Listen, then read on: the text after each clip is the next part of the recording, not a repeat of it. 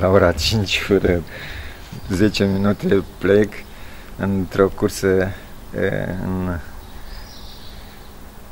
Alba Iulia Catedrala Reîntregirii Neamului, București, Catedrala Mântuirii Neamului. Să celebrăm și noi 100 de ani de la Marea noastră unire a tuturor românilor și pentru cei care s-au jertfit în primul război mondial și care au făcut unire aici la Alba Iulia.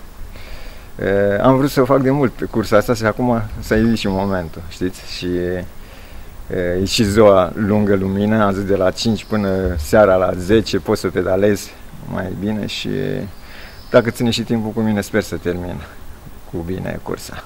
Cât estimați că veți face pe drum? E, vreau să merg cu o medie de 25 de km pe oră, dar nu știu dacă reușesc, am 22-23 aceea.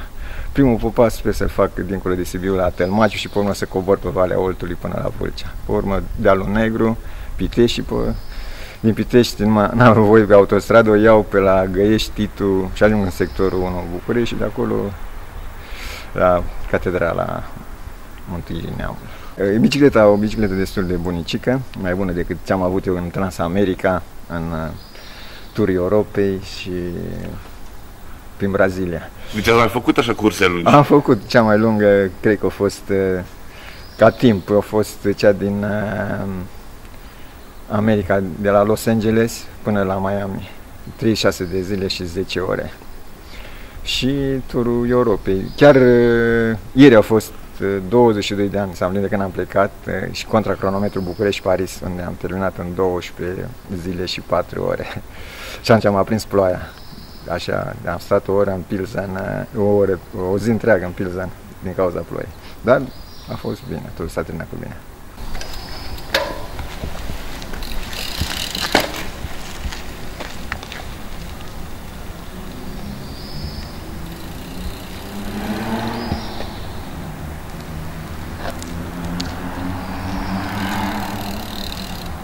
Până acum am făcut antrenament pentru atletism, sunt atlet și bicicleta.